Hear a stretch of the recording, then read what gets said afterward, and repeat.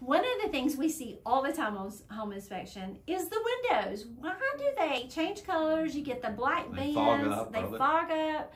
Why does that So in a thermal window, there's two panes of glass and there's a thermal seal around the window. And when that seal breaks or lets moisture in, or that's what happens. So it's set up originally. They say it's got this thermal because is that supposed to make it more energy? Supposed to be a gas in there to make it a little more energy efficient. Okay, Correct. so when that seal breaks, do, how much does it change your energy efficiency? You know, I'm not an expert exactly on the number, but it's not that much. We take a thermal camera and do side by side comparisons, and we don't see a difference in that.